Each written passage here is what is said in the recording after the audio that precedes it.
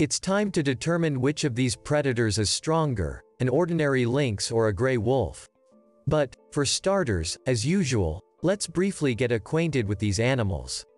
The common lynx is a small predator that looks like a big cat. Lynx lead an individual lifestyle.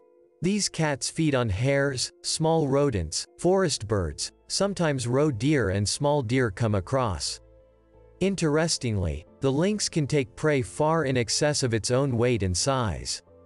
In terms of size, the lynx reaches over 2 feet at the withers and weighs about 66 pounds. The distribution range of the lynx is very wide, but their numbers are small. You can meet this predator in Europe and Asia. Lynxes settle in dense forests and other difficult places, they also climb trees well and swim. Gray Wolf. The wolf is a well-known famous predator, everyone knows him. So he doesn't need much introduction. In a nutshell, we can say that the gray wolf is the largest representative of canines. These predators live in packs, especially many of them live in Eurasia and North America.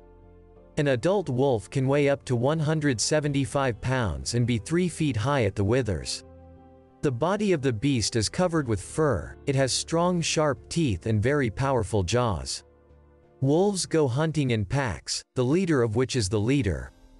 The victims of these predators are moose, wild boars, hares, roe deer and deer. Sometimes animals attack birds and domestic animals. So who is still stronger of the two predators? To do this, let's weigh some facts. First, we know that lynxes live in wooded areas, but wolves mainly live in open spaces. This shows that predators are rare, although their meetings may be.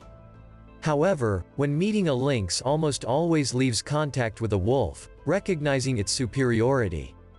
Secondly, the wolf always exceeds the lynx in weight, it is almost two times heavier than it. And this also gives the wolf a chance to win. There is also evidence that bones and hair of lynxes were found in the stomach of a wolf.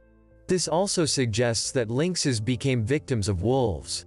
And this is already direct evidence of the strength and ferocity of the wolf. Because as you have already understood from all that has been said, the wolf is superior to the lynx in strength.